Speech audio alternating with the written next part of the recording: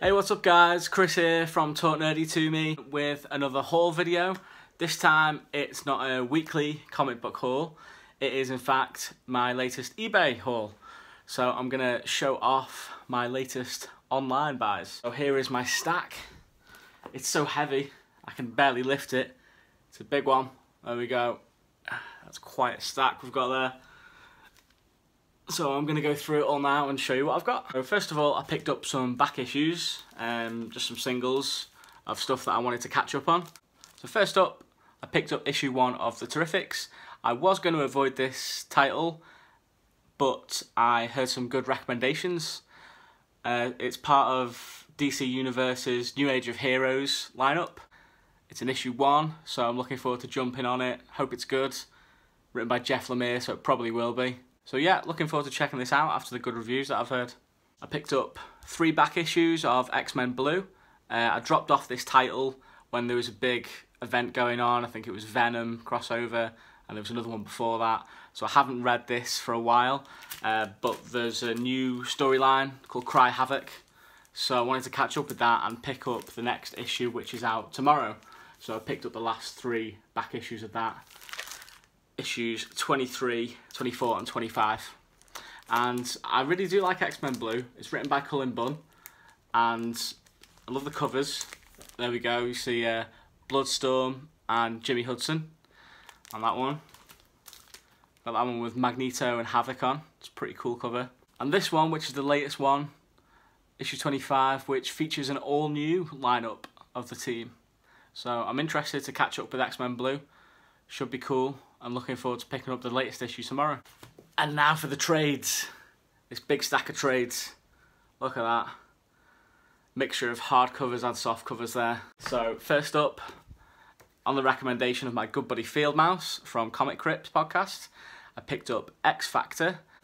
This is over 10 years old now, this run. It's by Peter David, but Field Mouse has recommended it to me because I wanted to read some X Factor, some old X Factor stuff.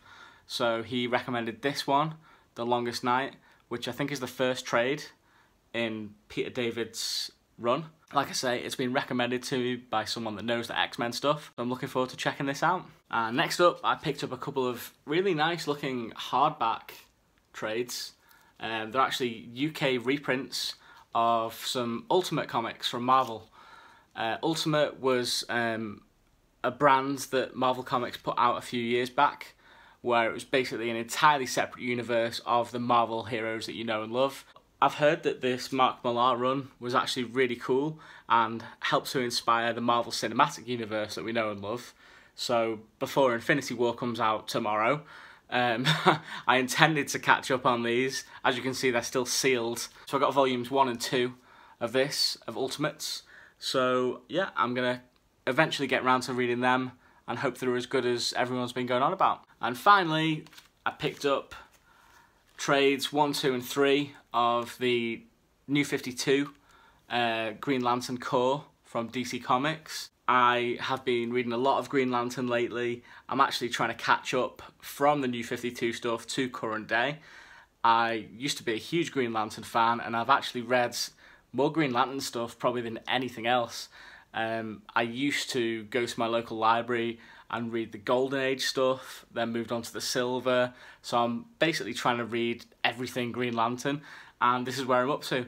I originally bought some single issues as the run was coming to an end, and now I just wanted to go back and catch up. So I'm going to try and get all the trades that you can see, volumes 1, 2 and 3. I do love me some Green Lantern, and reading the Green Lantern Corps books is pretty cool because obviously it's not focused on Hal Jordan. There's loads of other Green Lanterns, really cool cast of characters in there, so I'm looking forward to eventually catching up. So that's it for this haul.